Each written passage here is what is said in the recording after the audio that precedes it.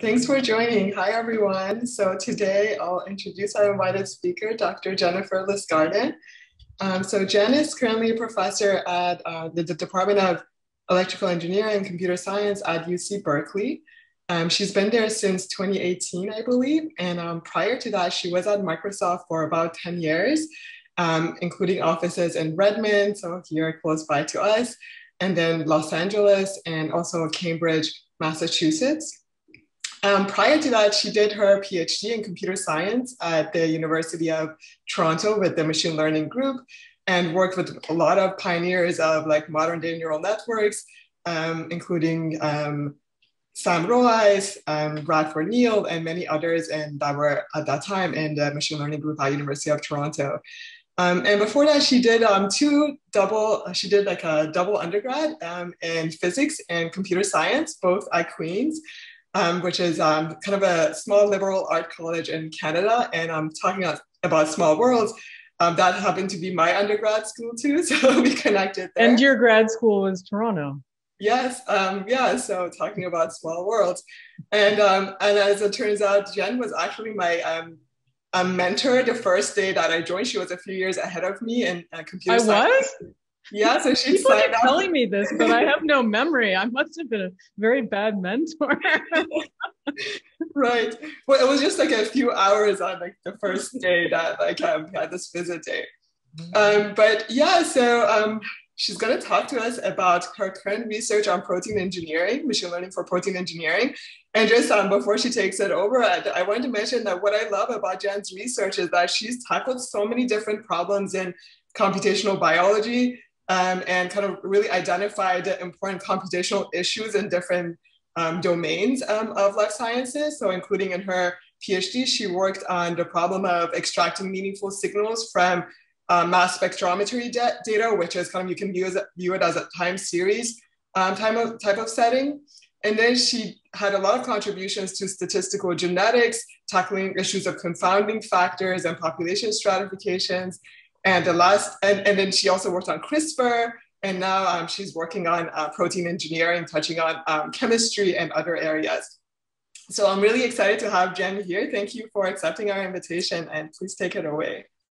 Thank you for that kind introduction. So I will um, get to the point. So I started to start some of my talks like this. So if you've seen this already uh, in one of my talks, you can just humor me and pretend that it's uh, still amusing. So this guy is spending two days searching for a needle in a haystack. And so I asked people, why would I start my slide deck with this? Uh, and what is he doing? So first of all, what is he doing? So it's an art installation, and uh, and he's literally looking for a needle in a haystack in the gallery. And the gallery issued a warning that this could take longer than anticipated. Uh, and so there's an analogy with with I would say protein engineering and small molecule design, which is you are really looking for the needle in the haystack. And and I guess the point of this talk is to tell you the unfolding narrative in my head about how I view this problem as a machine learning person very interested in molecular biology and having dabbled a little bit now in chemistry because some of the problems are quite similar. So I won't say much about chemistry, but what's interesting is on, as you can already imagine, if you're thinking like a computer scientist and you're searching for a string that represents some biological sequence in DNA or um, amino acid space that you are kind of looking through this huge combinatorial space. But when you start to ask and think a bit more carefully about how we're going to do that with machine learning, it's something actually kind of much harder than just searching through the space, actually. Um, so, right. So, why do we want to do this? I, I assume uh, because of the topic of this uh, this series that you probably already have a good idea why we might want to engineer proteins or small molecules. But these are just some kind of uh, well-known examples. So you've probably all heard of GFP, which is this fluorescent protein that's used both in academia and industry everywhere. It received the Nobel Prize some number of years ago uh, because it's just such a powerful uh, tool in the lab. You may know, I had never heard of this protein called Rubisco before I uh, started in on this work. So this is actually the most, as I understand, the most, all, of all proteins, this is the most common protein because it appears everywhere and it's involved in carbon fixation. And uh, we have a, actually some potential collaborators here on campus. We haven't got to the point where we have enough data, but there are people trying to engineer this. There are two processes that are in tension with each other and typically you can get more of one at the expense of the other and so there's a challenge to try to kind of get them both to be where we would like to be and I'm not going to talk about CRISPR today, but in the bottom there is a video that's been playing showing the CRISPR Cas or the Cas9 is that sort of Pac-Man that comes in and unzips the DNA, which allows us to then go do all the things we do with CRISPR from knocking down a gene to editing it, disabling it, and so forth. And that is, of course, also a protein that people have, have been engineering with for different purposes. For example, not to make a cut uh, or and, and, things like this.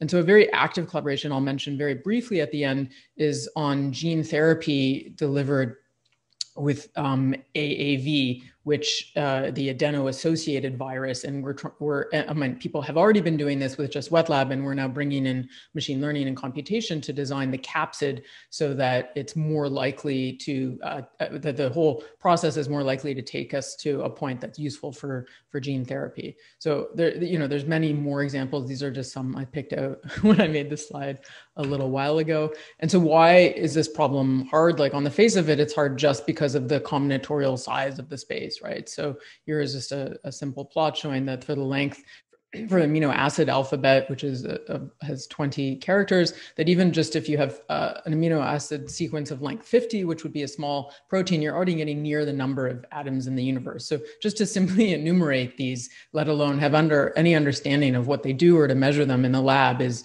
is clearly, you know, intractable. So we're going to have to uh, navigate the space and also deal with the fact that we can't measure uh, trivially everywhere we go in that space. okay, so this is the only slide that has any chemistry, but as you can imagine that instead of searching for a sequence, which is a linear string of amino acids, I might instead search for molecules. And I'd say one of the much harder problems in this space of um, of chemistry compared to biology is that there's not an obvious representation for molecules that's as natural as with amino acids. And uh, of course, we may not just, you know, ultimately we may push an amino acid sequence from, say, a one hot encoding through a neural network or something, get a different encoding, but it's very easy to start with that first one to learn smarter ones. But here, the sort of starting uh, representation is already very difficult, and there's certain symmetries, and, and, and it's not a string, right? But so I'm not going to go into that. I dabbled a little bit in this direction because when I started to talk on parts of this work, some of the chemists said, Hey, we have this problem you're talking about. Can you help us? And I realized that actually all these years I've learned a lot of biology and I don't really know much chemistry, uh, although uh, I think my group may do a little bit in this space. So I'm going to anchor the story now that I'm going to tell you about how our emerging or my emerging way of thinking about this problem as a machine learning person turns out um, accidentally to I, I, can now sort of post hoc anchor it on, into directed evolution. And when we actually put up our first uh, preprint on this topic was the same day that they announced this Nobel Prize in chemistry. And so you probably, many of you already know what this is. And in fact, directed evolution is such a beautiful name because you can almost just understand this, this uh, really uh, powerful laboratory based uh, procedure to engineer a protein, which is one of the most common ways that people engineer proteins right now. Uh, another way is this sort of rational approach using biophysics based models and so forth, which I'm not going to talk about today. But so, how does this? I want you to know how this works because I'm going to layer on what we do in as onto this as sort of a template to understand it at some point. So you have to, the key here is you have to start with a protein that has the element of the thing you want. So suppose you want to make a protein fluoresce at a particular wavelength. You should have a protein that somehow fluoresces a little bit at some wavelength, because in some sense, what, what I'm saying is you need a good initialization for your optimization. And if you don't, you're never going to get to the right part of the space, or odds are you won't um, and so that's, I, I'm, I do not think anyone has ever performed a directed evolution where they didn't have that good optimization. And then what you're going to do is you're going to induce a, a physical diversification step. So you're going to sort of reproduce copies of this parent, but each one you're going to make a little bit different. And there are an increasing number of of laboratory mechanisms to do that. So I think in the old days, they might have like thrown x-rays at it and things would mutate. A common one now is to use error-prone PCR. Sometimes you uh, define recombination blocks and you combine the recombination uh, blocks from a few parents, things like this. And sometimes people inject some prior knowledge about the structure and so forth. But on the whole, it's more or less ran- like, especially if you're doing error prone PCR, you're just inducing random variation into the parent and getting a pool of variants that are a smallish distance away from the parent. And then critically, you need to be able to measure the thing you care about in the laboratory, or at least a proxy to it that's useful. And then what you do is after you've measured all of the variants, you keep the top performing ones and you um, put them back in as a, say, parent pool and you repeat the process. And so this is, the, and then you ultimately converge often to just a few variants that perform what you would like if, if it succeeds. And at least the people I know doing it tell me that it almost always succeeds uh, I have a feeling those are it's that's why those people are using it because it works for them. I it's I, I, wonder if there's a whole bunch of people for whom it didn't work and I've never met them, um, but I guess I won't know that. So right, so and the idea that we had was just uh, you know can we how can we bring machine learning into this process such that we either need to do fewer of these cycles or to get to the same endpoint, useful endpoint, or can we get to a useful endpoint that we couldn't have otherwise, like a more useful one or just any useful one when this does sometimes fail? And so that's sort of our goal here. And although it stands to reason that by bringing in biophysical knowledge and so forth, uh, I'm not going to talk about how to do that here. Maybe I'll allude to some bits at the very end. Um, but I want to just talk about how to think about this problem in fairly broad strokes because I think that it's worth uh, thinking about carefully and and that where you can go wrong if you don't. So, right. So, where might you, if this is, you know, you know how this works and you're a machine learning person or you aspire to be a machine learning person, you're going to say, aha, I know how to install scikit-learn and I can build a predictive model. So, I'm going to replace the assay in the lab with a predictive model and I'm going to see if that buys me something in terms of speed and cost or something like this, right? So, and when I say I want to reduce the number of cycles, I mean the number of cycles of wet lab measurements because actually some of our collaborators, for example, they use um, non-human primates uh, to test drugs, you know, for to cure blindness. And if you can change the number of times you're testing on non-human primates from five cycles to three, this is actually a huge, huge deal. So anything you can do there is pretty incredible and and if you don't know, I should say that these this kind these kinds of methods are currently being used for drugs for blindness, going through FDA approval. So this sort of the time is now that this is really uh, having an impact on the world. Well, I mean, it has already in, in other ways, but I think for therapeutics, this is especially taking off right now.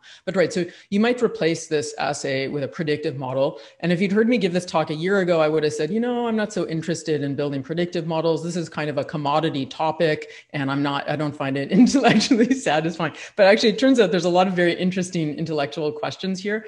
Uh, and I have, this is more recent work. And so I, I wanted to have a more fully integrated talk of the stuff we've done that's quite mature and some of the stuff that's coming out. But uh, I didn't have quite enough time. So I'm just going to give in some teasers at the end about some of that other work and stick with this main narrative, which is not focused on this, but assumes that we have done that. So let's say for this part of the talk, we're going to assume I have managed to somehow collect data uh, to build a good enough predictive model that I can do something with machine learning to take me through these kind of cycles. Oops. So, and then what did actually get me very interested in this problem in the first place is to sort of step back and say, like, if I was a computer scientist, what kind of optimization would I have been doing in this large combinatorial space? And what I would have been doing is sort of something that was random and greedy, right? So I'm kind of, if you think of error prone PCR, I'm randomly just inducing some mutations and then I'm greedily taking the best ones and I have this population and then I do it again.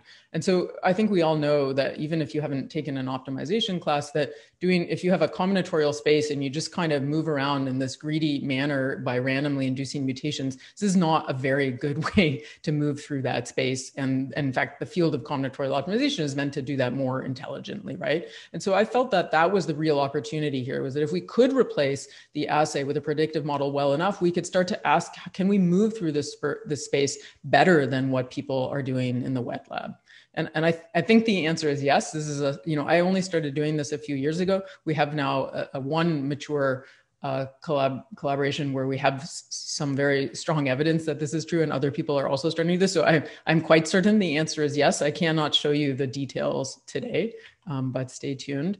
So, okay, so let's keep going with this story. What we're going to think about now is suppose that we have our collaborators have given us a bit of data for the problem they care about. And in general, I'm going to talk about a single fitness, uh, a single uh, property. And so this is a bit messy, right? So people talk about protein fitness. And whenever I think of fitness, I think allows it to survive but fitness is used interchangeably with just a scalar property in, pro, in protein world so when i say fitness just think some property of interest like stability binding fluorescence and so forth uh, although actually now, now I wrote fitness here. That's an old slide that sort of contradicts what I said. But in any case, there may, as you can imagine, for a therapeutic, there may be multiple things we care about, right? That it hits, like say, it binds to the right thing, but that it, you know, it's thermostable and and so forth. But for the purposes of this talk, which uh, is trying to address already a very hard problem, I'm going to talk about just one property uh, and and and one can imagine how to do it for more than one by drawing on the area of multi-objective optimization and so forth, but I, I, won't talk about that today. So, but let's assume we have this model and right in the conventional world of machine learning, someone gave us a bunch of Ys, a bunch of X's that were paired together. And the idea is to find a function that generalizes across all X's to predict all Ys. But in this sort of what I started to call machine learning based design, I'm assuming that those knobs have already been set and I, whatever data was given to me, like I, I don't need it anymore. Uh, and what I want to do is I want to specify the output of this network to be the protein that I want, the properties that I want, and then I want to go find the protein sequence that gives me that. And so, of course, if I just have one protein that gives me what I want, I'm good to go. But of you know, this is an imperfect world. This isn't going to work perfectly. So in reality, we want to hedge our bets by having a pool of candidates that are that our collaborators can go measure. And so depending on the collaboration and the thing they're trying to measure, maybe they can afford to measure 10, maybe they can afford to measure 10,000. And so we'll tailor our ultimate output based on what they can measure and and and go through. And let me just say one other thing. So sometimes when I give this talk, people say, isn't what you're doing active learning or Bayesian optimization? And so indeed, this kind of thing where you iteratively collect data to improve your model to find what you want is important and it is done in this field. So, but what I'm talking about here is to suppose that you're not allowed to collect any more data because presumably at some point you will be done data collection. And then you're basically the question here is now how do I milk that for all it's worth to get me what I want? So this is not active learning. Um, okay. And so one thing, uh, in much of machine learning nowadays, I would argue that the probability distribution over the outputs is kind of ignored. There's a, a small cottage, like small cottage industry, uh, very small, of how to measure uncertainty in a way that provides something meaningful in the sense that it's calibrated for deep neural networks, which tend to not do that.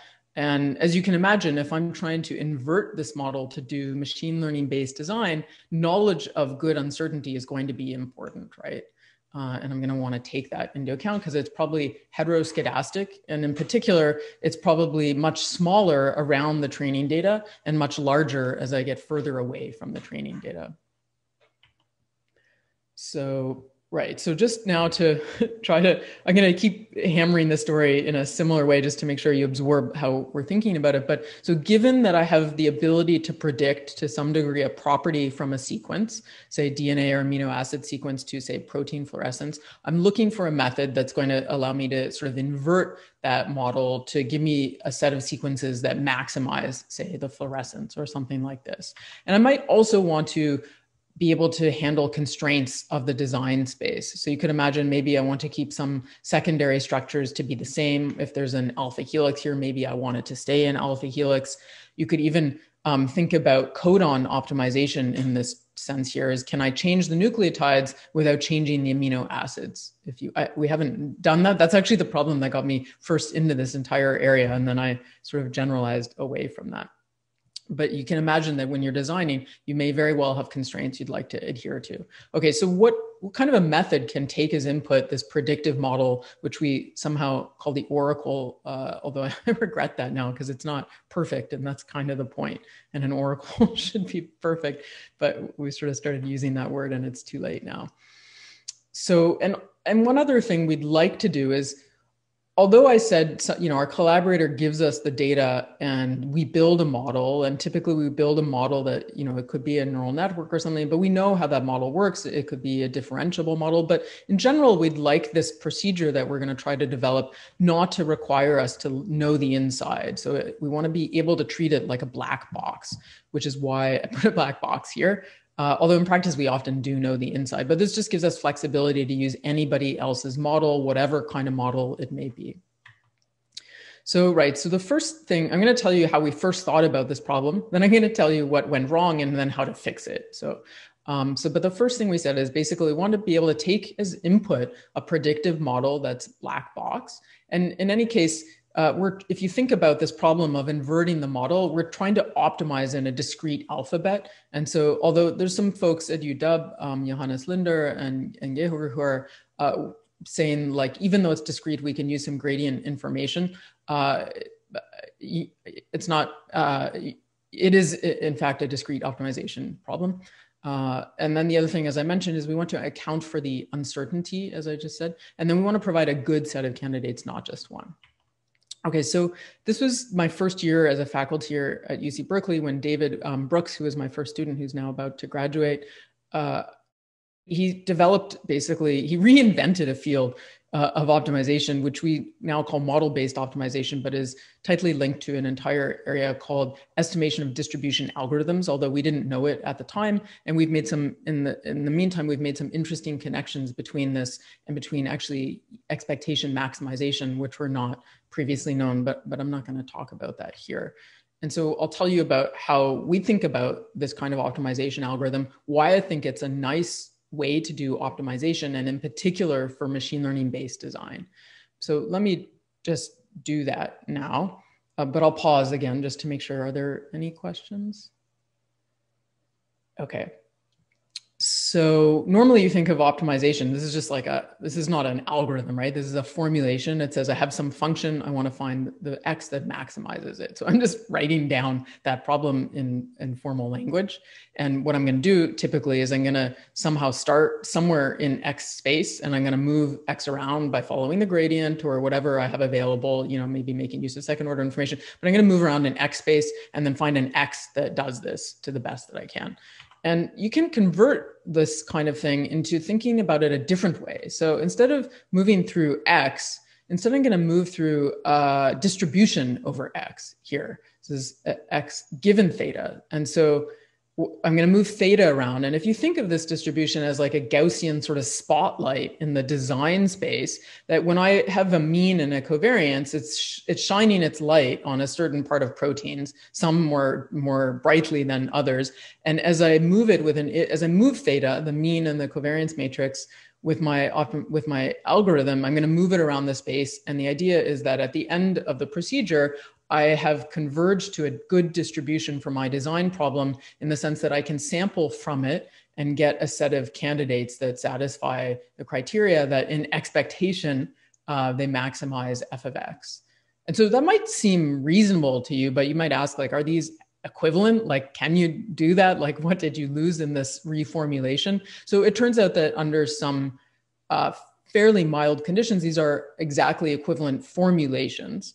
Uh, remember, not an algorithm, it's just a formulation. And so the condition is actually that if this family of densities is rich enough to put all of its point mass on the one value of x that maximizes it, then these are equivalent because it will just put a point density there and it's trivially the same. Uh, but of course, we actually don't really want it to collapse to a point mass because we want a set of candidates. And I'm not going to go into that today um, sort of I, this is actually why I love this field. It's unfortunate because I give a talk and there's so many things I want to say. There's so many branch, te- interesting technical branches, scientific branches. It's a really rich area, I think, in which to do research. But the the sad part is I keep wanting to say stuff and I can't say more about it because I'm not going to get through the talk. But so okay, so why would you want? Good question on the the. To me, the the thing that seems not clear is that expectation is precisely the right thing to use there. Are there other choices, other properties of the P of X given theta that you could look at besides the expectation? Uh, I didn't think about that, but it's certainly the case that if I put the point mass, if I put all my mass on here on the one X that maximizes it, then expectation is a correct operation. Yeah, yeah, no, that I understand. Okay. Uh, and you're saying, are there other operations that would also give that property? Is that sort of the question? Well, maybe, or I don't, not so, I don't care so much about that property. It's just, are there other things that would give good behavior empirically? I don't know. Uh, well, okay. So, but uh, let me, uh, I'm going to argue that, so, so far there's nothing here about behavior, right? It's a formalism. Yeah, yeah. And then I think the question you're, you're, you're alluding to the fact that you believe I'm using this formalism because it's easier to build an algorithm which behaves well. Yeah. Um, and I'm not actually going to argue that. Okay. In fact, um, what I'm going to argue is that mostly uh, the main point of using this, which is uh, actually not necessarily why we developed it this way. This was just me and David bouncing around ideas and David kind of coming up with this thing. But uh, what I'm going to argue now is that I've introduced the language of probability into optimization. So there are theoreticians who like to do this because it makes it more amenable to certain exact calculations, but that's not my interest. My interest is because I sort of grew up in the, you know, graphical models, probabilistic modeling. And so I like to, especially in a scientific application, I want to bring in any auxiliary knowledge or constraints I have with the language of probability because I know how to mix and match it coherently to get something sensible rather than just weirdly throwing in like regularizations or like other stuff. Like I, I, guess it's it's a very natural coherent way to bring in side information in a scientific problem. And so that for me is why this is really nice. And i'm going to show you how we do that actually in a moment. You could also argue and I, I don't have evidence of this but i do believe that that thinking about it this way could also lead to better behavior in terms of pure optimization uh, algorithms uh, but actually, I realized after talking to a lot of people that many people have misunderstood. So this is the beginning. What I'm telling you is sort of the halfway through a paper that was published at ICML with David. And many people have misunderstood this paper to be a paper about discrete optimization, to which I say, if it was, we should go publish this in a discrete optimization literature and we better go benchmark about against all the discrete optimization. But that's not going to be the point of this. It's just I haven't got there yet.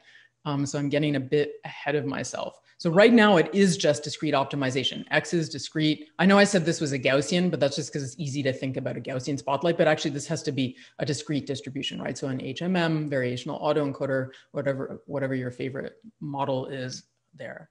of course, it, it, it, you know, it's important to pick a good one here. Uh, and I won't talk about that either. Anyway, Bill, does that kind of answer something? Yeah. Yeah. Okay. Great.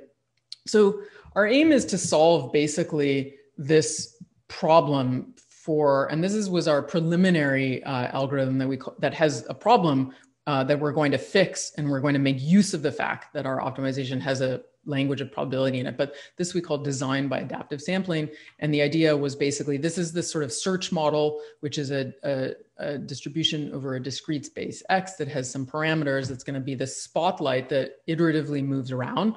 And then uh, this here, instead of f of x, this is actually going to be using that sort of predictive model, that sort of stochastic oracle. And we're going to say we want to um, know that the, given a particular x, we have the probability that we've satisfied some property value, like maybe the fluorescence is higher than alpha, in which case S would be the set of all fluorescences higher than alpha. And so, and this is, Right. And so, and then this is, yeah, that's, that's stochastic predictive model. And inside of it, it also has, uh, we're going to make use of, well, it is the CDF because it's sort of integrated over a set of values. And this is where the uncertainty comes in. We make use of uncertainty of that model. Again, we're assuming that model has already been learned and it's fixed right now, including its uncertainty.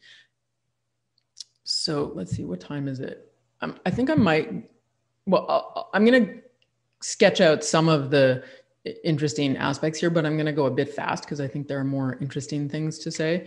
Uh, but so when you when we have this formulation, it's a little bit challenging in a similar way technically to some other problems you may have seen in machine learning, in the sense that we're trying to do an optimization over a parameter that appears in the distribution of the expectation, and that from a technical standpoint is a little tricky. There's a number of ways that people handle this. Uh, and we have, uh, we end up using a bound that gets satiated which might make you think of expectation maximization, and that is part of the connection, but I'm, I'm not going to go into that detail here. And I'm just want to point it out. If it's something of interest to you, you can take a look at the paper. And the other thing that I actually personally have never encountered in my own research was a problem with rare events, where this turns out you're going to estimate this with Monte Carlo samples. And you have this thing in here, samples X, and this thing here says the probability that I've satisfied the properties I'm looking for given X. And as you can imagine, when you start off this procedure, you're not going to have any samples that satisfy your design criterion because if you did, this would be a trivial problem and you'd be done, right? So, sort of almost by definition, this is going to be very, very small, and you're going to get these super high variance Monte Carlo estimates. And so there are a number of techniques to handle that. And so we were inspired by some in the field of, uh, my God, what is it? I'm blanking now. Uh, but in any, anyway, we basically use a series of relaxations such that these weights don't are in the beginning, we're kind of saying, you know what, you don't have to be that high of fluorescence. You can just be kind of at the high end of what we've already seen and make it more and more stringent. And of course, this is, you know, formally an intractable problem, so we don't have guarantees of a global optimum or anything like this. But um, uh, man, I'm totally blanking. What is this field called? Uh, okay, well, maybe it's on another slide. And, and in the end, what happens is we have an iterative algorithm that is very intuitive. Uh, and, and actually, I'll just give you the picture of it in pseudocode instead. So the procedure says take as input this already trained model and some access to its cumulative distribution function, which really just takes account of the uncertainty in the predictions.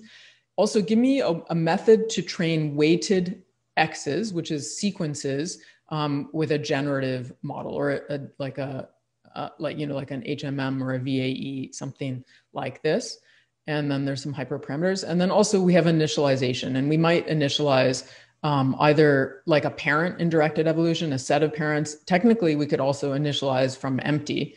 Uh, that might mean we don't get to as good of a spot, or we might get somewhere more slowly, but you can turn the crank. And now, so this is where this sort of this picture of directed evolution comes in, because even though we didn't design the algorithm this way, uh, it turns out to layer exactly on top of directed evolution. And it's sort of like an in silico directed evolution. And it actually has connections to this old style field that many people kind of make fun of called like evolu- what are they called? Um, evolutionary optimization which has been replaced with something more well founded i would say called estimation of distribution algorithms of which we have essentially developed one. But so you start off with some parent and what you do is instead of running error prone PCR to get a pool of variants, instead you say, take the current samples I have, train my generative model. Initially, they're all weighted the same, and then sample from it. So I have this like VAE. I'm going to draw samples from it instead of running error prone PCR in the lab. And so I think this is a key ingredient to point out in the sense that when I run error prone PCR in the lab, I'm really inducing mutations at random, right? I don't know anything about the correlation between positions or anything like that.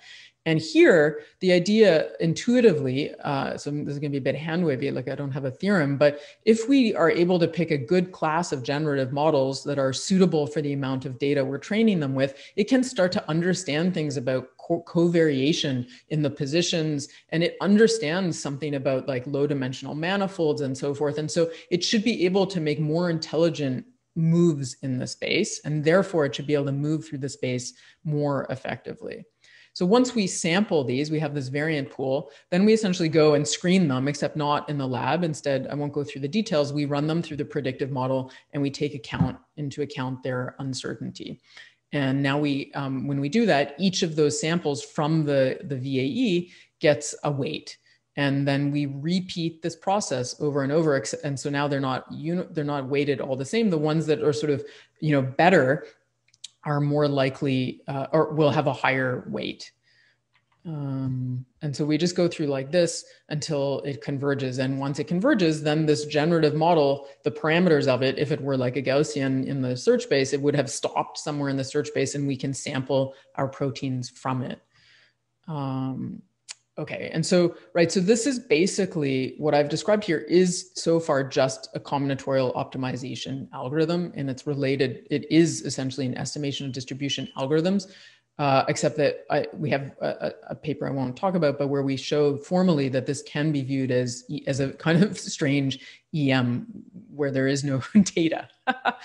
but uh, you can take a peek at that if you want to know more. And it's actually also, in terms of just the formal technical setup, it turns out to be quite related to problems in stochastic policy reinforcement learning and some of the algorithms there, which just I, which I, I found out by talking to one of my colleagues here, Sergey Levine, and, and actually we've had some synergy in ideas, even though our, our actual domain problems are completely different. And we, I guess the main difference in the technical underpinnings is our search distribution is their stochastic policy and their reward function is how well our fit how high our fitness is. And what we're missing that they have is a dynamics model. We don't have a dynamics model. Okay yeah, so yeah. just clarify what's the mean what's the meaning of the gamma parameter for the cdf calculator? What does that do? What's that? Oh that's basically just saying what's the probability that the fluorescence is higher than gamma. So when you do the cdf it's like up cumulative up to where? I see. Okay. Thank you. Okay Great. So here's this beautiful story. We did what many other people have done, which I now go on, on, a bit of a rant about, which is we did our own discrete or combinatorial optimization and we uh, we didn't go to the wealth of literature out there to see if there was any sense in our doing this. However, I don't regret that we went down that path because this is actually just part of the problem, and I don't think it's the hardest part of the problem. And what I'm going to tell you next is, I think the really hard part of the problem. And sometimes people say to me like, "How do you know you're using the best optimization?" And what I say is, I don't care. I need an optimization that's good enough, and then I need to think really carefully about the rest. And that's what I'm now interested in. So what is the rest? Does somebody have an idea of what might go wrong here? Who one issue seen, who hasn't seen me give the talk? yeah. Oh, sorry, uh, one issue mm-hmm. I see is that uh, if say you gave uh, the search model two uh, Gaussian uh, distributions to play with, it would only put weight towards the uh, the maximum of the oracle. Whereas when you're actually generating these uh, proteins, you might want to uh, explore several of the maxima. Do you mean that the Even fitness, if, do you mean to say the fitness function, if it's multimodal, that this procedure may land on one of the local minima and not the other? Yeah the deepest one specifically. Sure okay so that is that is true but that's a true for that's true for any this is like formally an intractable problem and that's always true no matter what you do. And the whole field of optimization is try to understand with with your particular problem is there some particular optimization algorithm that's more likely to get around those problems right? So i, agree this is a problem but it's not specific to our setup. So uh, and there's, you know, and if, if that was the only problem, then what I would do is I would go knock on the door of my combinatorial optimization colleagues and say, tell me how I find the best one here. Uh, but I, because I don't actually think that's the main problem, I, I'm, I haven't bothered to do that. Uh, so there's something else that's, and it's, it may, it's probably so obvious that you're not even thinking it. And so I'm just going to state the obvious here, right? It's like the elephant in the room, which is that everything I've done here assumes that I have an oracle that is good and it's not going to mislead me and that its uncertainty is useful.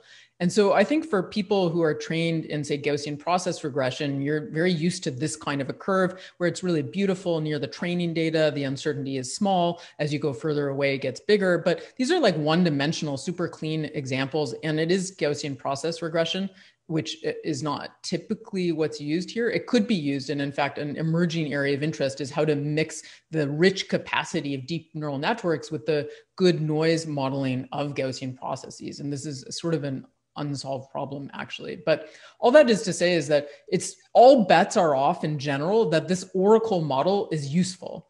And what I'll say is some people, including ourselves, have gotten away with assuming it's useful when the design space is quite small and we have a lot of data to cover the design space, right? So in some sense, it's a question of how generalizable is my model, given the amount of data, the class of, of, of model I've using the way I've estimated it and where the training data relative to where I'm going to call it. So there are cases that are in very small design spaces with a huge amount of data where this is okay. And in that case, you do more or less just have a combinatorial optimization problem. And then you can go down that path and ask, what is the best method?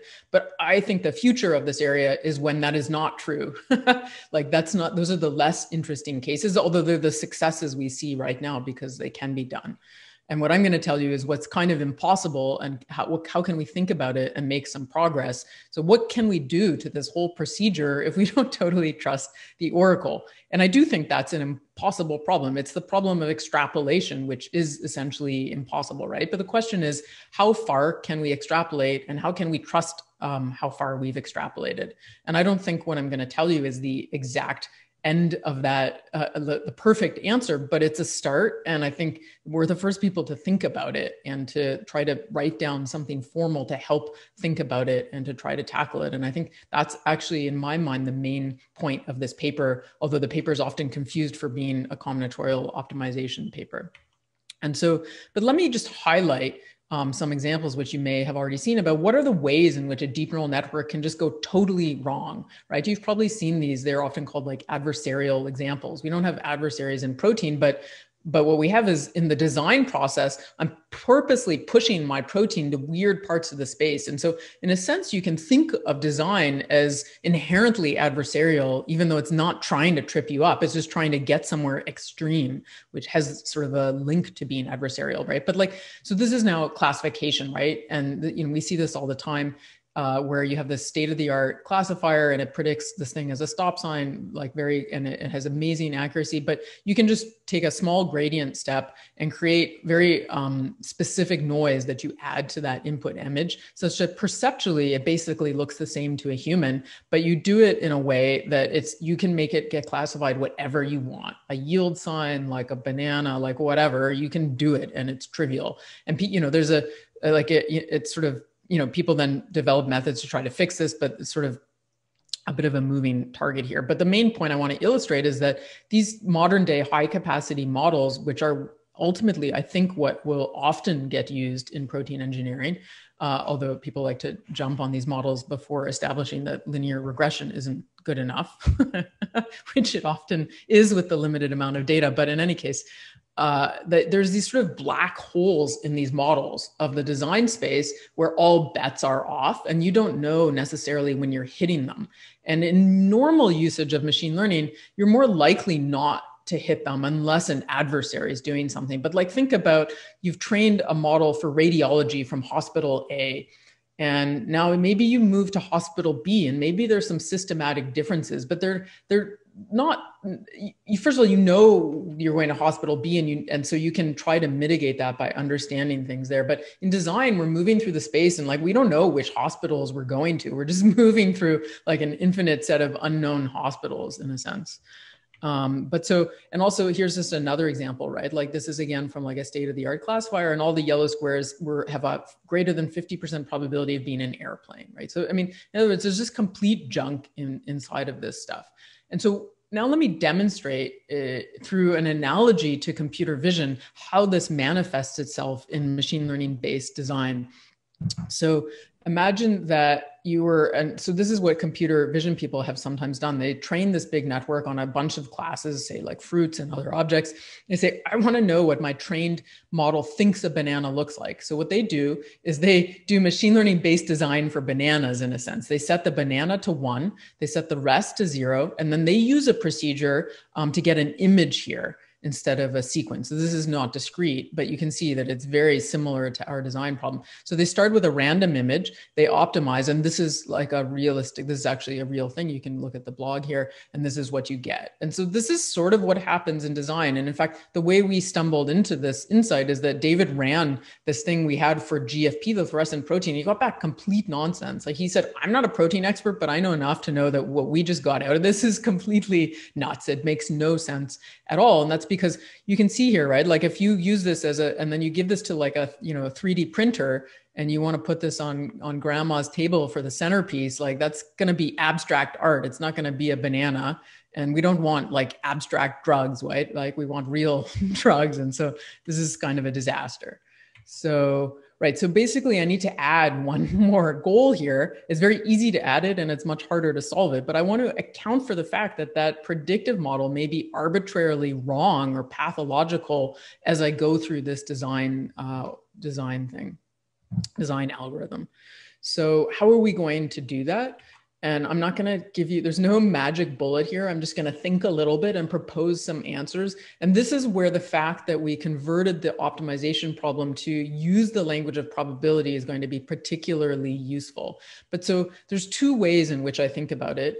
Uh, and our paper this, uh, that's listed there talks about both of them, but is mostly instantiated in this first one, which says, suppose I'm the one that built the model that I'm trying to use for machine learning based design. So I know where the training data are uh, because I have them, like I can hold them.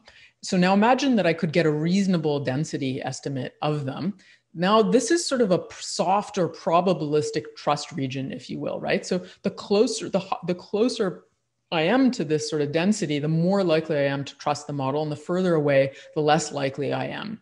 And the real key here is like, how do I get that balance exactly right so that I extrapolate exactly as far as I can? But there is no like i'm i don't know of a clean way to answer that question. It starts to sound a little bit like acquisition functions and bayesian optimization which trade off exploration and exploitation.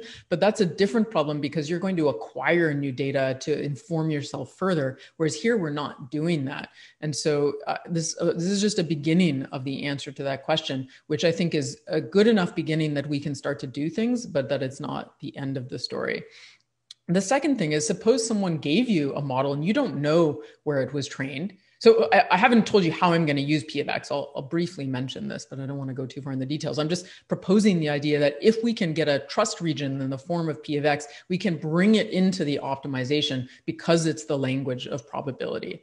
Um, so, but alternatively, what if we don't know where the, these data points were? So then you can start to bring to bear domain knowledge. And so this links now to some emerging work in this area. But so imagine that you knew all proteins that were able to fold. So if you just randomly generate a sequence of amino acids from the alphabet, the odds that that amino acid sequence is going to fold up into a stable protein is basically close to zero. And so what that means is there's only somehow a feasible set of points in protein space that can even fold up stably. And generally you want to be at one of those points. And so if you can even just add that kind of constraint in, you're probably going to save yourself from most of the bad holes in that space about bad pathologies. And so I never pursued this. And actually, after we published this or uh, a little bit later people started or maybe it was even before and i didn't see it but right like people have now taken huge databases of proteins that are known to stably fold and started building like big um, models on them. And so you and then so this ties in a little bit to so say semi supervised learning and so forth but i'm not going to um, go into that. I'm just going to say that you could imagine there are ways that other ways beyond just knowing where the training data are that this could be done usefully. Another question is okay how do I bring in this this P of X that I've just now estimated based on all proteins that fold stably, based on my training data, based on both, based on something else. Like, you know, when you have a real problem, you'll think carefully about the right thing to do here. And right now I'm painting a more general template. But so far, basically, we had an oracle that was giving us PY of X. And I'm saying, let's somehow bring PX in. And I'm, I don't want to go into the details. I just want to give you like a bit of a idea here, but we're kind of now thinking about modeling the joint and and the way david thinks about it which is less intuitive to me although i can see it and it's written in the paper this way is to estimate which is proportional um, actually to, to the other way around from there right? So by dividing by p of y. And so do i have it here? Yeah. So the way david thinks about it is we start with a prior distribution and then we condition on the event that we want and that's essentially his starting point for the algorithm that appears in this ICML paper that we call CBAS. And so I don't want to, I'm just trying to give you sort of a flavor of things here, not to have you understand every detail. But what I'll say is just one very quick thing uh, is that even though they start in sort of very different places, this was the first one I told you about, and it ends up being basically, I, I don't think I said this, but it's basically a weighted maximum likelihood of the HMM or VAE, the search model, using weights according to how fit they are and their uncertainty. That's what this equation is, and this is the weight. And at every iteration, we do a new weighted maximum likelihood estimate of the search model parameters. And in this updated approach, we basically um, we readjust those weights using essentially what looks like a probabilistic trust region based on that prior distribution of what we think we can trust. And again, like I want to emphasize, I'm not claiming this perfectly navigates how far we can go, but it starts to point us in the right direction, starts to let us understand how to bring in this kind of information into these optimization algorithms. Um, okay, so how are we on time? Oh boy. Okay, so let me, I would like to uh, get through a few more th things. That's kind of the main part where we started from, but we're doing a bunch of other stuff now. So let me just highlight what I think are the most interesting points. So I've said this a lot. This is not an optimization contest, right? The fundamental problem here is how far can we extrapolate and how do we have any confidence that we've done so? And to do that, we need to do optimization. But I don't think machine learning people doing this kind of work are going to be likely to be developing new optimization models, or if they are, they should really compare to the vast field of literature out there for that. Um, and so one thing that people do is they they basically evaluate this kind of approach. There were a handful of papers doing this by saying essentially how well did my optimization work of my predictive model? But the point we're making is the predictive model is probably wrong. And so if you want to test an approach like we have you have to kind of pretend you haven't seen sort of extrapolated data. You need to build the oracle on this and and sort of play games like that to convince yourself that you're doing something useful. But i won't go into the details. It's it's in the paper uh, and let me just skip over. So of course, you know, this is published. So of course our method wins.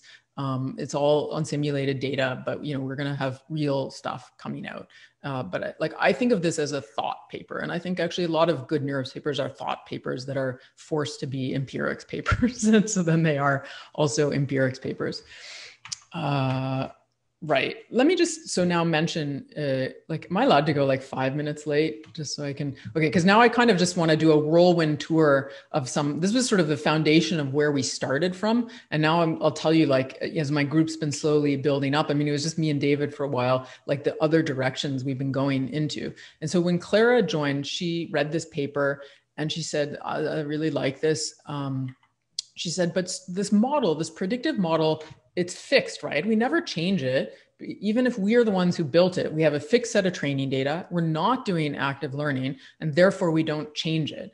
And she asked, she said, Is there some reason? So she's very theoretically inclined that maybe actually somehow updating that oracle during that optimization process might be helpful, even if you have just fixed training data. And basically, the answer is yes. And so this was published in, ah, this is out of date. So this is NeurIPS 2020, uh, where she answers in the affirmative that we should. And so I don't, because I, I want to say a few other things. I'm not going to go into the details. I'll just briefly say that she, she, I mean, it's just a formalism, uh, but the way it gets formalized is as a, is as a game. Uh, and, and if you're interested, uh, you can go look. You know, she has some results showing of course, uh, both in a sort of simulated example where you can readily understand what's going on, that this, this thing she develops from that insight is indeed useful. Um, that is that at every iteration, when you move that spotlight around, you're going to change the, you're going to retrain the Oracle model. And the very quick intuition I'll give you is that it's one of, it, emerges as one of domain uh, adaptation. That is that you if you think about where the search model that spotlight is now it's different from where the training data was. And this actually by accident in her formulation ends up mapping to techniques for domain domain adaptation where you essentially retrain your model with weighting the original training examples by essentially a ratio of the density in the test to the train distribution and you wouldn't need to do that if you had the true causal model, but which you never do. And when you don't, this um, there are there's you know decades of work showing why this is useful, and that's sort of what emerges from her setup. So I won't bore you with tables. I don't know why we why do we use tables? Like, can anybody parse this? It's just like a block of numbers, right? I don't know why we have these things, but uh, okay. I've already given you a summary. Like my big push here is just to say that I think there's really an opportunity to do machine learning based design for biology. And that the main problem is, although optimization is super hard, I think there's even harder problems. And I think that's where what we should be thinking about, unless we have a particular domain app like a uh, domain application where we have gobs and gobs of data and a model that doesn't have this problem, which can happen. Okay, so now I'm just gonna give you a quick teaser of some stuff that's coming out of my group that either has just been posted or will be posted in the next few weeks or collaborations. Like, so what I told you now is almost like a thought piece about how to think about this problem, but we work very closely with wet lab biologists and we're also doing some other stuff. So let me just give you a sense of some of these things. So Chloe is a second year PhD student and this preprint just came out, I think a few weeks ago. Um, and basically, what happened was there is this paper here by Biswas 2020 that just came out in Nature Methods, but has been on the preprint server for several years. And they essentially adapted techniques from natural language processing to protein engineering, uh, including uh, a tweak on how to bring to bear what we call evolutionary data. So so far the kind of data i've talked about are supervised data where someone measured something in the lab but there's a notion of sort of zero shot learning in this field of fitness prediction which says what if i have no labeled data? Can i do anything? And the idea basically is you have a query protein sort of the parent you would start with in directed evolution and you do a homology search. You look for related proteins which you believe are enriched for the thing you care about and you build a density model from these. This came from the sort of statistical physics people. Anyway so people people have been looking at that, the statistical physics physics people there's people looking at nlp anyway turns out there's a whole mess of methods out there that are trying to combine these these data which i think is the right thing to do in many cases. And and it's kind of a mess. And so she wasn't planning to do i think no one plans to do a big comparison paper like this. I don't recommend it um, although I, I, mean it was been very useful for us. But and in the end she ended up basically systematically comparing all kinds of different approaches to get a better understanding of what works where and so i guess that's sort of my teaser. And, and the other part of the teaser is that she showed that people are throwing these crazy expensive models at stuff that actually like one hot encoding with linear regression often competes with and they're not putting that in as a baseline. And then on top of it i don't have it she has a cheeseburger plot also showing just how many cheeseburgers or airline flights that those models are taking up compared to the one hot linear regression which is kind of funny and then another one so this is should be out on a preprint server in a few weeks. So david's graduating um, right now essentially. And he got really in we kept getting this question from the work we had already done that was the focus of most of this talk where people would say okay well how do kind of how do i know if my predictive model is good enough that it's of any use to do what you're proposing to do? And moreover how many samples do i need to estimate a good fitness function and so whenever people ask me that, I said, that's an impossible problem. It's just you're going to have to start collecting data and see what happens. But David is also, my students are, a number of them are quite theoretically bent. And David's like, I want to answer this. And I was like, you can't, it's impossible. And he was insistent. And he has a, a beautiful uh, set of results coming out now that are fairly theoretical focused and they don't exactly tie in in some ways to the problem, but they're closer than what anyone else has done. And I think it's nice progress. But basically, he was trying to understand understand are there certain decisions? First of all, how do we characterize how many samples are needed to estimate a fitness function? And that's what this essentially is about. Uh, and I, I can't go into too much here, but the idea is that with this knowledge, it's going to be a function of how long, how big the design space is, and what the alphabet size is at each position. And if you understand some of the things, it stands to reason you could use that information to help decide what kind of experiments and what domains might you might actually be able to tackle versus not. Uh, I think there's still a bit of a gap to exactly translating this into practice, but I'm curious as we talk about it and talk to more people what emerges from those conversations. But I think it's a super cool result. So check that out in a few weeks.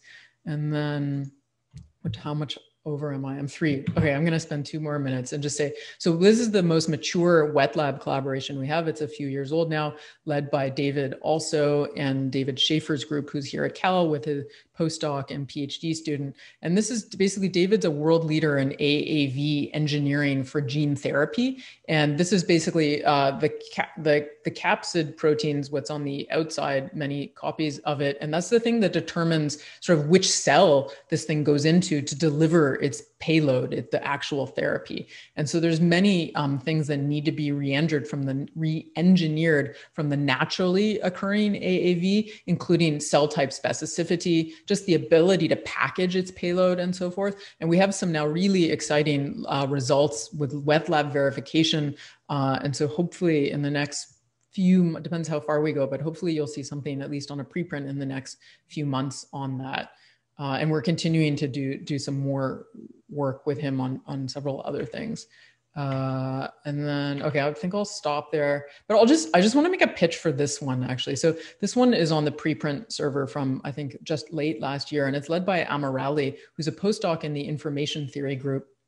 And he uh, just started coming to my group and talking to me and saying like he'd been using ideas from compressed sensing to do fitness prediction for proteins and he had this sort of like wacky idea and he was telling me about it and eventually between him and me and hunter nisanoff who's the second author here we realized that what he had was a specialized way to do to um, induce a useful inductive bias into deep neural networks that is useful specifically for protein fitness prediction, which is in a discrete space. And it's based on ideas of um, the Walsh Hadamard basis uh, and compressed sensing. And so in this preprint, you can see that like if you just do say L1 or L2 or dropout on a neural network, like on the weights at various like um, layers, this layer, that layer, all layers, or you do what he does to regularize it, that what he does buys you um, nice results. And that's because it's sort of somehow paying attention to the fact of, of that, that these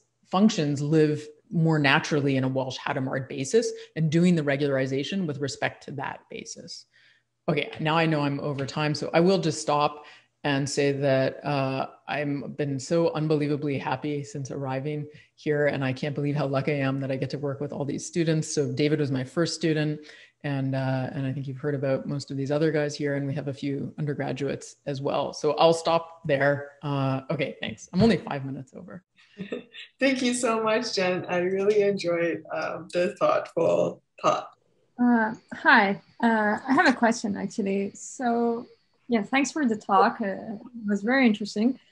Um, so I understand you're concentrating on sort of not relying on the fact that you might get some extra data. So using ideas from adaptive learn adaptive learning and so on and so forth. But can you partition, let's say you have a large amount of data and you can partition your data and you sort of yourself provide pro- provide yourself with the extra data after learning the first step.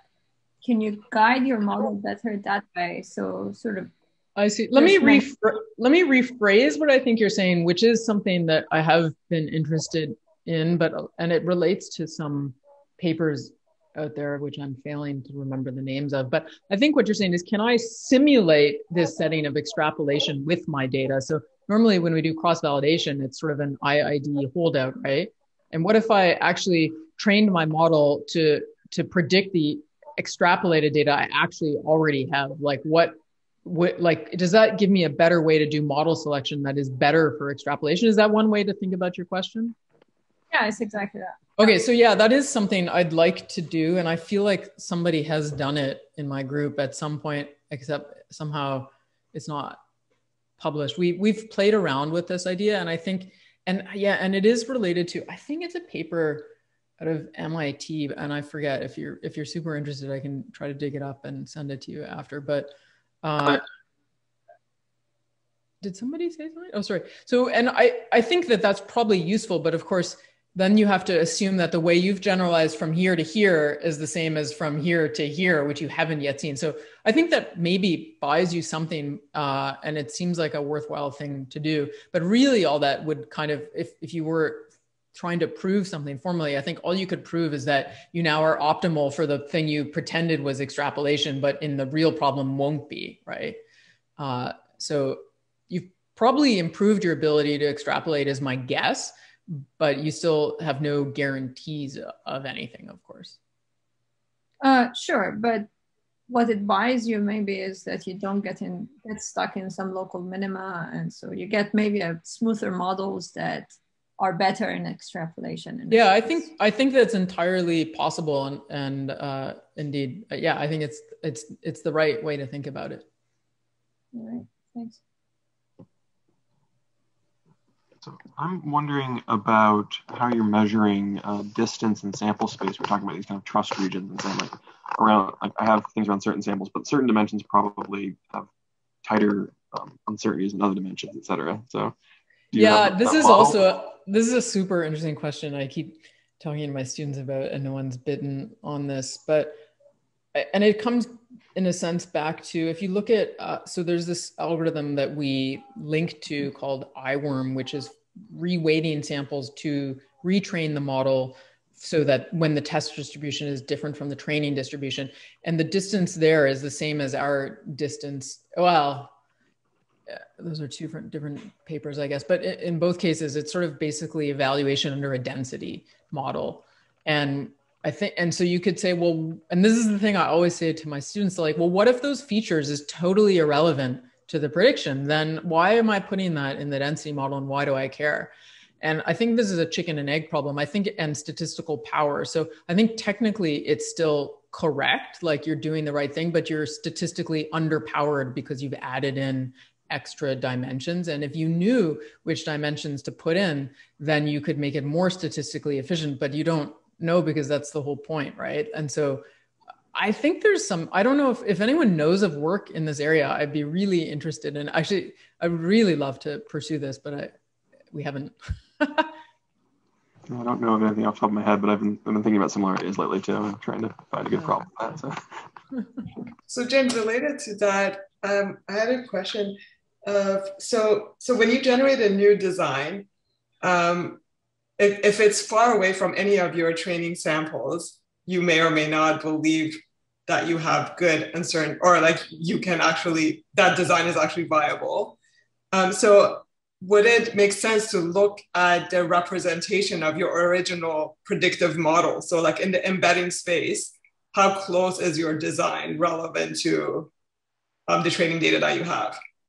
Yeah, that also links. So uh, we, we have been thinking of these things, I guess I think that like if that generative model, I still I guess I don't believe in necessarily distances to latent space, like because like which latent space and how did you derive it and like what like a Euclidean like I just I don't know what that means in a sense. Whereas if I say that probability density was something like a VAE, like there are latent variables in there, but I'm measuring distance in a probabilistic manner that somehow makes more sense to me. So I'm not saying that it's not the case that there couldn't be latent distribution, latent representations in which distance has some meaning. I just think that in general, when people are doing that, it's sort of very ad hoc, and all you do is you just say, let me try this. What if I add them together? What if I do this? Like, what if I make it K and like equals 10 or K equals 100? I don't know. Like, I just, it's just, it's infinite and empiric which doesn't mean it's not useful. It's just I don't know how to sort of rigorously think about it, I suppose. And I think for me, it feels more natural to measure things in like with probabilistic terms, and that may just be my own bias. um, yeah. But there is actually a paper that, that, that actually, so um, I, I, wish I could, I can't remember the names of anything anymore, but they're doing something like this. This paper is about trying to combine the best of both worlds of deep neural networks and Gaussian processes. In other words, the capacity uh, and predictive accuracy of deep neural networks with the rich uncertainty estimation of Gaussian process regression. And in there, they end up doing something like what you just described, where they say, let's control things by looking at the distance in the latent space. And in fact, so Hunter is very interested in this. And in fact, he thinks it's specifically not the right thing to do. uh, but we don't, you know, we don't have any results showing that just yet. So maybe I'll ask you my other question on the autofocus um, stuff. So I wonder, like autofocusing just seems like a sensible thing to do. Does it generally also improve generalization on test data? Like regardless of whether or not it improved your design. Yeah, there's a whole bunch of caveats there. It's very nuanced. And the reason it's very nuanced is that, as, just to recapitulate, what you are actually doing sort of at an intuitive level is you're rescaling, you're, you're reweighting the original training points by the ratio of the density P train over P test. Uh, right. At, for all the, is that the which way? I was not very good with plus minus left right what something like this. But i guess the point what happens is that as the test distribution gets further and further from the training data the weights get smaller and smaller. And so you end up having essentially your effective sample size goes down the further you go and so what that means is you have a very high variance estimate for your model or your model's over capacity for the amount of data you have. And so you need to essentially use variance control properties to navigate that. And so actually what Clara shows is that if you bring in the probabilistic trust region from our first algorithm, it automatically keeps you in a region where the sample size is good um, to do that. But there, so even there, like every corner here, if you poke at it, has some fragilities, and so that's a fragility there. Is you obviously you can't just readapt a model like super far from the training data. But what's nice about this is you kind of as you watch the effective sample size go down, it's sort of like a monitor to say like probably you can't keep extrapolating because you don't have any data here in a sense. Um, but it's not quite right for that either. But it's a it gives you a sense. If there are no questions, we can thank Jen. Thank you so much for giving the nice talk. and it was really good to see you.